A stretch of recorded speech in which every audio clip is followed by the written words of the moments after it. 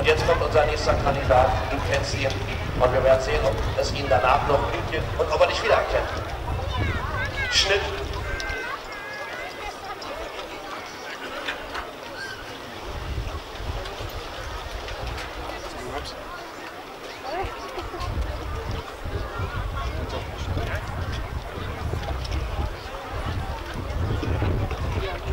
Also für längere Reisen gibt es auf jeden Fall beschwebende Fahrzeuge, ne? sowohl mobile und so. Also für den Urlaub ist das jetzt nichts. Nee, aber man ist natürlich schneller am Zielort. Ich sag mal, eine Stadtrundfahrt durch Berlin auf der Spree, halbe Stunde, ne? hat man alles gesehen. Auf einem Gewässer, was da Dame heißt.